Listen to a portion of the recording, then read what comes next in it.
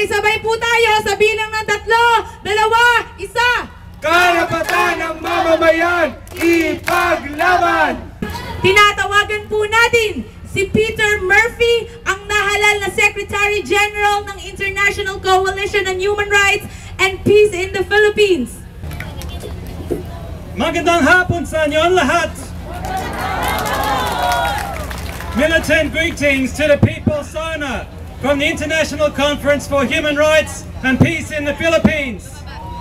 Over 260 delegates from 27 countries came together to organize a powerful, sustained international campaign to expose the human rights abuses in the Philippines. Our campaign starts today by attending this People's SONA.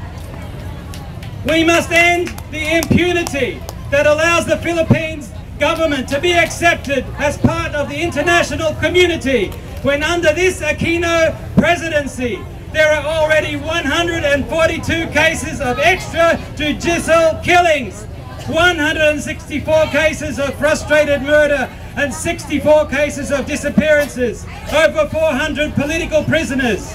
Unarmed civilians are being killed and disappeared for acting for the people's interests. We condemn the political killings related to the opposition to large-scale mining, the killing of peasant and worker leaders, of people working for typhoon relief. All of this is total abuse of your rights to life, to freedom, guaranteed by international law and the Philippines Constitution. We condemn the repression of the right to organize a trade union and to negotiate a collective bargaining agreement and to strike. Trade union repression is rampant in the Philippines. Mabuhay mga sa Pentagon Steel Corporation.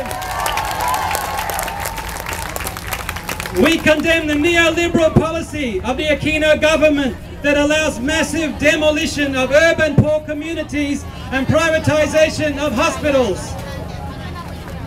We condemn the grinding poverty of 80 million Filipino people. This is a breach of human rights. It's linked to the neoliberal policies of this government and its long-term domination by the United States capitalists. We call for the end of the US military presence in this country and all other countries outside the United States.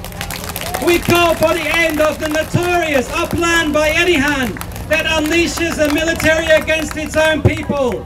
We call for the release of all political prisoners and the beginning of the peace talks again between the National Democratic Front and the government of the Philippines.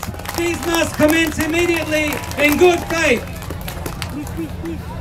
We know the people of the Philippines are hungry for food and hungry for peace.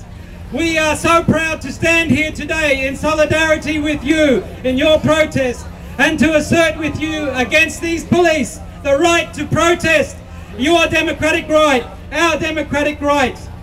Karapatang ng mamayan! Ipaglaban! Ipaglaban!